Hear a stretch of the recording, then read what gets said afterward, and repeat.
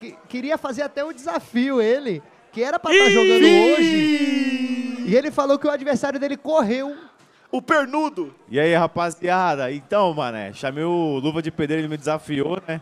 Só que ele tá correndo de mim, pô. Ele tá com medo e aí eu não sei o que, que eu faço pra esse cara perder o medo e vir jogar, porque ele ficou Hulk lá, ficou grande, falou um monte de merda e não sei o quê. Só porque ele.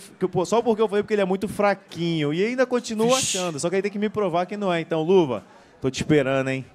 Rapaz, daqui a dois meses vamos ter outro X1. Então você também está convidado, Serão. Se você quiser ir contra o Luva, daqui a dois meses. E eu acho que vai ser lá pra cidade dele, viu? Lá pro Recife, Natal, Fortaleza. Já tá aceito, depende do homem agora aceitar. É, Vambora. Rapaz, Que vamos ver o que, que vai dar nisso. Murilão, jogar pra você aí enquanto meus jogadores estão ficando prontos. E já já você volta aqui pro campo. Obrigado, Serol. Tamo nóis. junto.